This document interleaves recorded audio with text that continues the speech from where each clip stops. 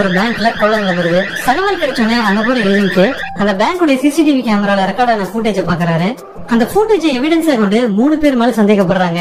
இங்க இருக்கிற மூணு பேர்த்துல யார் அந்த பேங்க்ல கொள்ளடிச்சிருப்பான்னு உங்களுக்கு தெரிஞ்சா கமெண்ட்ஸ்ல சொல்லுங்க.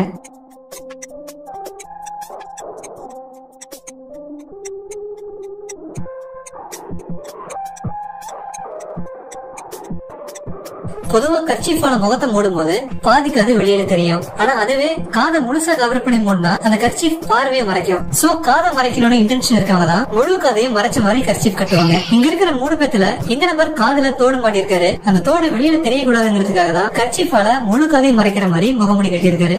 சோ இவர்தான் அங்க ராபர் தொடர்ந்து ரொம்ப நாளா வேலை செஞ்ச அப்புறம் ஒரு வாரம் ஓய்வுக்காக ஏஜென்டே அவருடைய பண்ண வீட்டுல ஸ்டே பண்றாரு.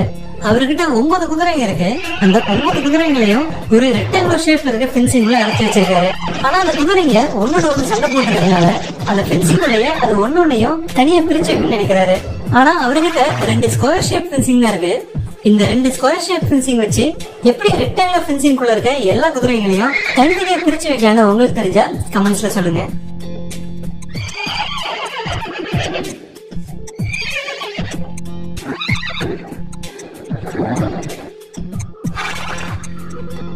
அந்த ஸ்கொயர் ஃபென்சஸ இந்த மாதிரி அரேஞ்ச் பண்ணும்போது ஒன்பது குதிரைகளுமே தனியா பிரிச்சு வைக்க முடியும்.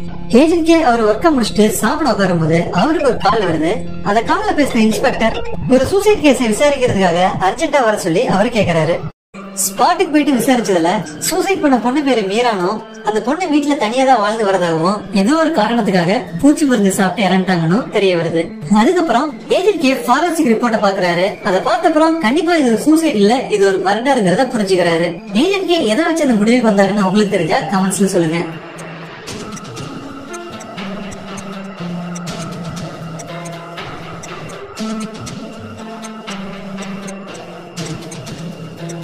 ஃபாரன்சிக் ரிப்போர்ட் படி அந்த பாய்சன் பாட்டில்ல மீராவுடைய கைரேகை தவிர வேற யாருடைய கைரேகமே இல்ல.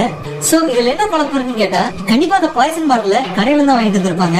அப்போ யாருடைய கைரேகை இல்லாட்டி கூட அட்லீஸ்ட் அந்த கடைக்காரருடைய கைரேகை தான் இருந்திருக்கணும் அப்போ யாரோ ஒரு நபர் வீராவுக்கு பாய்சன் கொடுத்துட்டு அந்த பாட்டில் மேல இருந்த கைரேகை எல்லாம் அழிச்சிட்டு மீராவுடைய கைரேகை மட்டும் பதிச்சிருக்காங்க. சோ இதை வச்சுதான் அது ஒரு சூசைட்ல இல்ல மரணர்னு முடிவு பண்றாரு. அதுக்கப்புறம் மீரா பத்தி இன்வெஸ்டிகேட் பண்ணதுல சிந்து கீர்த்தி திவ்யான்னு மீராவுக்கு மூணு பெஸ்ட் ஃப்ரெண்ட்ஸ் இருக்காங்கன்னு தெரிஞ்சுக்கிறாரு. முதலாவதா சிந்துவை போன்ல கனெக்ட் பண்ண முடியாதனால நேர்ல பாக்கலாம்னு போகும்போதுதான் அவங்க ரொம்ப நாளா ஊர்ல இல்ல வெளிநாடு போயிட்டாங்கன்னு தெரிஞ்சுக்கிறாரு. அடுத்ததா கீர்த்தி பாக்கலான்னு ஏஜென்ட் கிளம்புறாரு. ஆனா காலையில இருந்து சாப்பிடாத காரணத்தால சாப்பிடறதுக்காக ஹோட்டல் போறாரு. ஏஜென்ட் கே ஒரே ஒரு நூறு ரூபாய் வச்சிருக்காரு. அங்க அறுபது ரூபாய்க்கு லஞ்ச் சாப்பிட்டுட்டு இருபது ரூபாய்க்கு டீ சாப்பிட்டுட்டு கையில இருபது ரூபாயோட கீர்த்தி மீட் பண்றதுக்காக பஸ் ஏறுறாரு. அந்த பஸ்ல இருபது ரூபாய்க்கு ஏழு ஸ்டாப்பிங் டிராவல் பண்ணலாம். ஆனா அந்த கண்டக்டர் அஞ்சாவது ஸ்டாப்பிங்லயே ஏஎன்கேவை இறங்க சொல்லிடுறாரு. அதுக்கு என்ன ரீசன் உங்களுக்கு தெரிஞ்சா கமெண்ட்ஸ்ல சொல்லுங்க.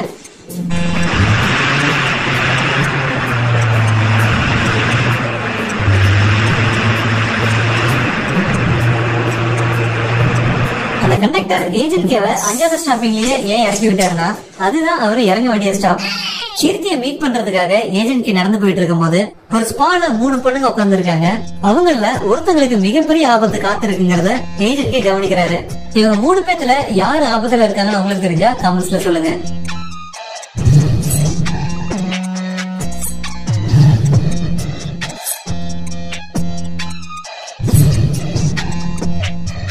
கிட்ட இந்த பொண்ணு மேல சிகப்பு கலர்ல ஏதோ ஒரு மூவ் ஆயிட்டு இருக்கு. அது என்னன்னா யாரோ ஒருத்தர் தூரத்துல இருந்து ஸ்னைப்பர்ல எய்ம் வச்சிட்டு இருக்காங்க.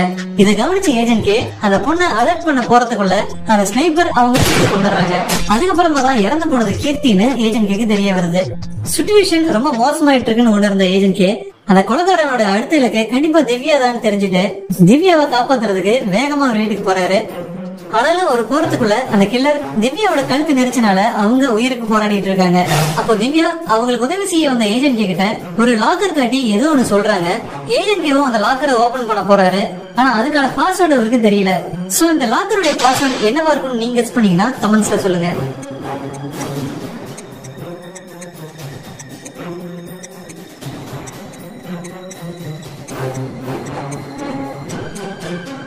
இங்க இருக்க கீபேட்ல மூணு நம்பர்ஸ் மட்டும் ஃபேட் நம்பர் மாதிரி இருக்கு. சோ கண்டிப்பா அந்த மூணு நம்பர் தான் அந்த பாஸ்வேர்டா இருக்கணும். ஆனா இந்த மூணுமே எந்த சீக்வன்ஸ்ல வரும்னு அவருக்கு தெரியல.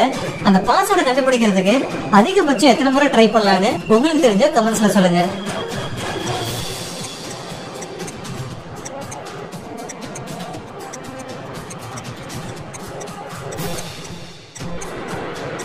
மூணு டிஜிட் கோட பாஸ்வேர்டு அதிகபட்சமா ஆறு முறை டைப் பண்ணும்போது சரியான பாஸ்வேர்டு கண்டுபிடிச்சிடலாம்.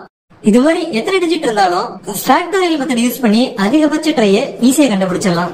அந்த லாக்கருக்குள்ள ஒரு போட்டோ இருக்கு. அதுல திவ்யா கூட இன்னொரு நபர் நிக்கிறாங்க. ஆனா யாரோ வேணும்னே அந்த நபருடைய முகம் தெரியக்கூடாதுன்னு அந்த போட்டோல இங்க அடிச்சிருக்காங்க.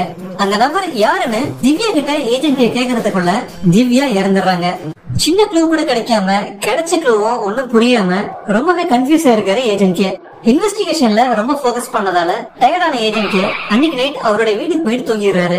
அப்போ அவருக்கு ஒரு மெசேஜ் வருது. அந்த மெசேஜ்ல அவருடைய வீட்டுல பாம்பு இருக்கிறதா சொல்லப்பட்டிருக்கு. நிறைய இடத்துல தேடின அப்புறம் கடைசியா ஏஜென்ட் அந்த பாம்பு கண்டுபிடிச்சிட்டாரு.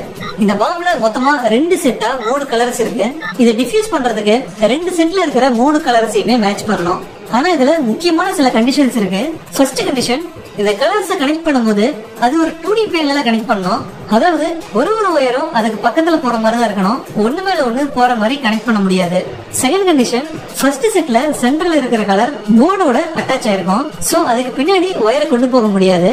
அதே போல செகண்ட் செட்ல இருக்கிற மூணு கலருமே போர்டோட அட்டாச் ஆயிருக்கும்.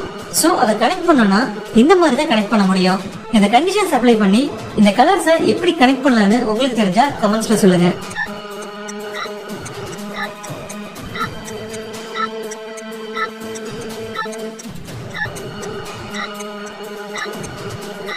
ஃபர்ஸ்ட் ரெண்டு டு ரெண்டு கனெக்ட் பண்ண பின்னாடி அடுத்தது செகண்ட் இருக்கிற கிரீன் கலரை கனெக்ட் பண்ணோம்னா தேர்ட் இருக்கிற எல்லோவை அதோடைய கலர் கூட கனெக்ட் பண்ணவே முடியாது.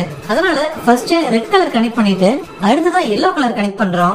கடைசியா நடுவுல இருக்கிற கிரீன் கலரை அதோடைய மேட்ச் கூட கனெக்ட் பண்ணிடலாம். தன்னை கொண்டதுக்காக இந்த பாம்பை யார் செட் பண்ணிருப்பான்னு ஏஜென்ட் கே யோசிச்சுட்டு இருக்கும் போது அங்க அவருக்கு ஒரு ரிங் கிடைக்குது.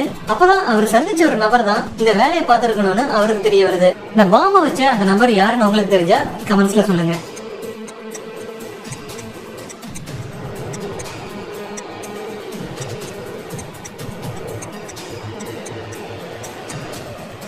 ஸ்டார்டிங்ல பேங்க் ராபரியில ஒருத்தர ஏஜென்ட் அரெஸ்ட் பண்ணிருப்பாரு. அவர் காதல இது மாதிரி தான் வளையம் போட்டிருப்பாரு. அது மட்டும் இல்லாத திவ்யா வீட்டுல ஏஜென்ட் இருக்கும்போது அந்த ராபரியில அரெஸ்ட் ஆனவரு ஜெயில இருந்து தப்பிச்சிட்டாருன்னு நியூஸ்ல சொல்லிருப்பாங்க சோ ஜெயில இருந்து தப்பிச்சவரு ஏஜென்ட் பாம்பு வச்சு கொலை பண்ணு ட்ரை பண்ணிருக்காரு அப்போ ஏர்போர்ட் செக்யூரிட்டிஸ் உதவி கேட்டாங்கன்னு ஏஜென்ட் ஏர்போர்ட்டுக்கு போறாரு. அங்க இருக்கிற பேசஞ்சர் லிஸ்ட் பார்க்கும்போது அதுல ஒரு ஃபேக் ஐடியும் அவர் தேடிட்டு இருக்க நபரும் இருக்காங்கிறத தெரிஞ்சுக்கிறாரு. இங்க இருக்கிற லிஸ்ட்ல ஃபேக் ஐடியும் ஏஜென்ட் தேடிட்டு இருக்க நபரும் யார் யாருன்னு தெரிஞ்சா கமெண்ட்ஸ்ல சொல்லுங்க. இந்த ரெடியோட கண்டினியூஷனை நெக்ஸ்ட் வீடியோல பார்ப்போம். இன்னைக்கு பார்த்த வீடியோ உங்களுக்கு ரொம்ப பிடிச்சிருந்து நினைக்கிறேன். உங்களுக்கு பிடிச்சிருந்தா வீடியோ லைக் கொடுங்க. லைக் கொடுத்த கையோட உங்க ஃப்ரெண்ட்ஸுக்கு ஷேர் பண்ணி விடுங்க. தொடர்ந்து இன்ட்ரெஸ்டிங்கான தமிழ்ல பாக்குறதுக்கு நம்ம சேனல் சப்ஸ்கிரைப் பண்ணுங்க. தேங்க்ஸ் ஃபார் வாட்சிங் வரட்டா